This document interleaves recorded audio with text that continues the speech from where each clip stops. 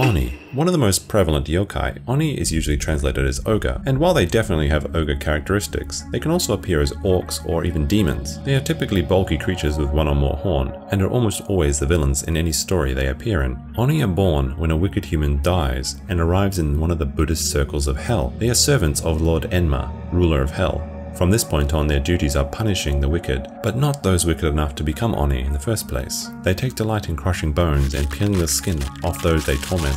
It is possible, however, that a human is so wicked that their souls become beyond redemption, and at this point, they can transform into an Oni while still alive, fleeing from their homes to find a new one in the mountains, and will terrorize and devour any livestock or human unfortunate enough to encounter them.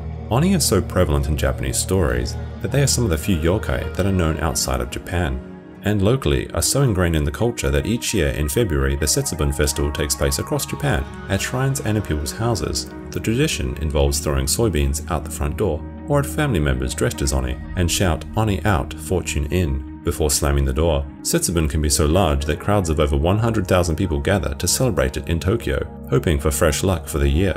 I hope you enjoyed day 13 of our October Yokai and Ghost Stories. You can check out the rest of them in this playlist, and I'll see you again tomorrow for another video.